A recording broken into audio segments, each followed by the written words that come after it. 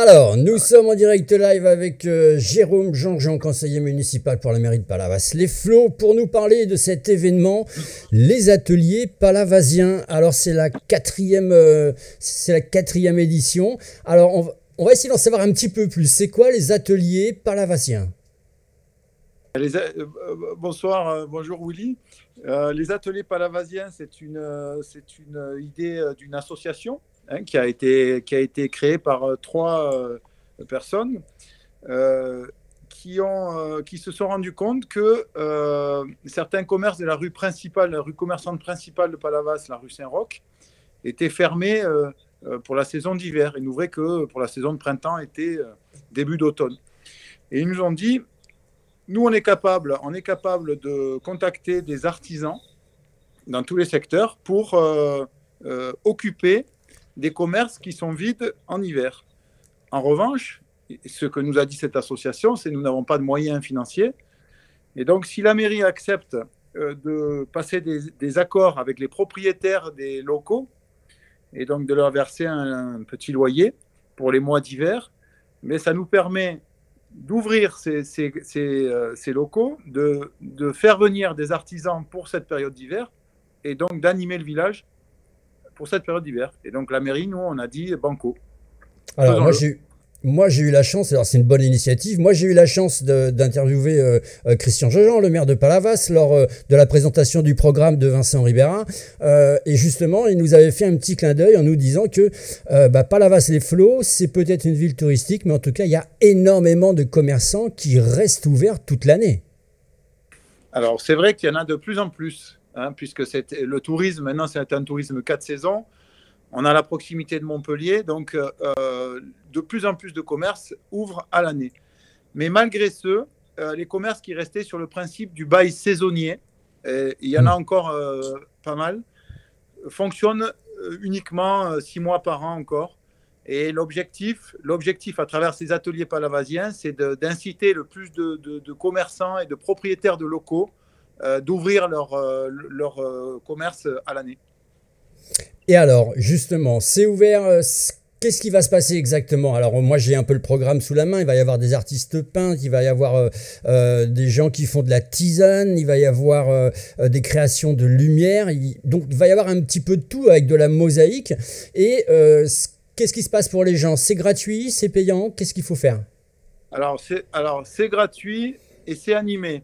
C'est-à-dire que euh, les artisans sont, euh, en vertu d'un cahier des charges, présents euh, dans leur local six jours sur sept, du matin au soir. Donc, il y a une ouverture qui, est, qui a à grande amplitude, tant en jour que en heure dans la journée.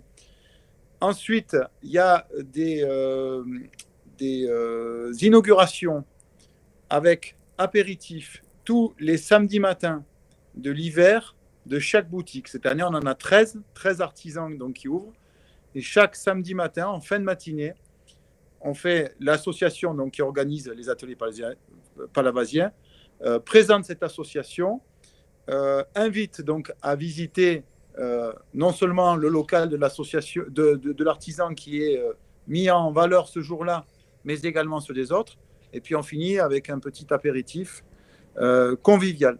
Donc c'est, ça se passe les samedis matins pour l'animation principale, également avec de la musique. Mhm. Mais ça, ça, se passe toute la semaine, toute la semaine euh, du, de ce samedi, là, samedi 16 novembre, donc jusqu'à la fin du mois de février, euh, dans, les, dans la rue Saint-Roch de Palavas-les-Flots. Oui, j'ai envie de dire, c'est une animation qui dure sur le long terme. Hein. C'est du 10 novembre au 28 février. Donc, ça va occuper vraiment bah, tout l'espace un petit peu hivernal, même si on sait qu'à Palavas, il y a le magnifique marché euh, de Noël euh, qui, qui, a toujours lieu, qui attire énormément de monde.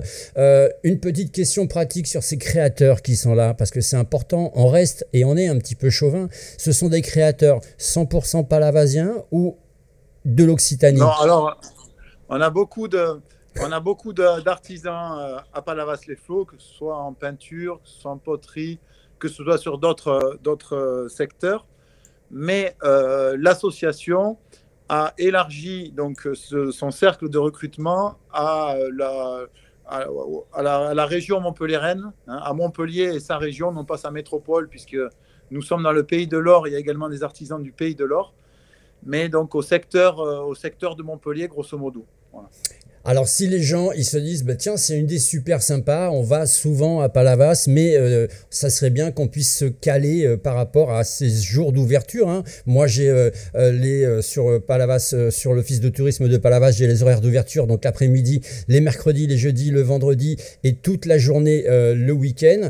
ça va se passer dans un endroit bien précis où va y avoir plusieurs endroits. Ben, ça se passe euh, du, début, je dirais, jusqu'au bout de la rue Saint-Roch, hein, qui est la rue qui part de la place du docteur Clément et qui arrive à la plage euh, de la rive gauche et qui arrive donc euh, précisément sur le lieu du marché de Noël. Donc ça peut être quand même une super balade, une super balade que de, se garer vers les arènes et puis de, traverser la place du docteur Clément, de remonter la rue Saint-Roch avec tous ces artisans et ces commerçants qui sont ouverts à l'année et d'atterrir sur le marché de Noël euh, en bord de plage.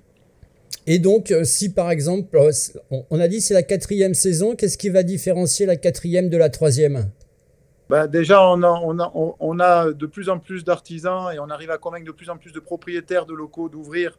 Donc cette année, on en a 13, on en a 3 de plus que l'année prochaine. Et, et donc, y a, les, animations, les animations sont, euh, plus importante parce que l'Office du tourisme, et là il faut que les personnes qui sont intéressées se renseignent auprès de l'Office, prévoit même d'organiser des visites de chaque euh, atelier euh, pour les personnes qui, qui s'inscriraient un petit peu à l'avance. Ça, il faut voir avec l'Office du tourisme de Palavas-les-Flots. Ce qui, ce qui permet aux gens de faire donc de balayer cette rue Saint-Roch et ces 13 artisans, au-delà des commerces qui, sont, qui seront ouverts, avec un guide. Et puis ça permet de faire des beaux petits cadeau. On vous attend nombreux de venir découvrir les savoir-faire des artistes peintres, illustrateurs, sculpteurs, potiers, mosaïques et encore plus de créateurs euh, de mode euh, réunis pour partager leur passion. C'est à Palavas-les-Flots. Dernière petite question. Un petit peu hors sujet, mais quand même qui nous intéresse. Comment s'est passée cette euh, saison touristique à Palavas? Mais la saison touristique, elle, elle s'est très bien passée. Elle s'est passée dans le, je dirais, au regard de ce qui a pu se passer il y a quelques années, dans le calme et la bonne humeur. Euh, la fréquentation est à l'image du littoral méditerranéen, c'est-à-dire que le mois de juillet euh, tarde toujours à, décoller. Le mois d'août a été euh, grosso modo identique à, l'an dernier.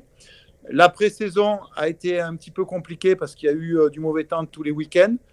Mais on a désormais cette force qui est un tourisme quatre saisons et donc, euh, dans l'ensemble, les, habitants de Palavas-les-Flots et leurs euh, commerçants sont satisfaits de cette année 2024, euh, qui n'est pas encore terminée, qui va se terminer avec les ateliers palavasiens, avec le marché de Noël et bien d'autres animations, encore dans la joie et dans la bonne humeur.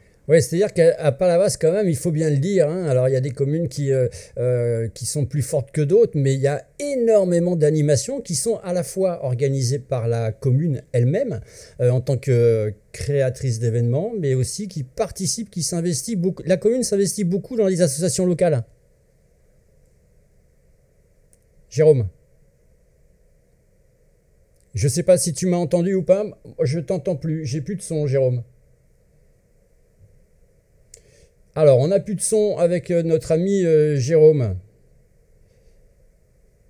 Je t'entends plus, je n'ai plus de son. Je n'ai plus de son, Jérôme.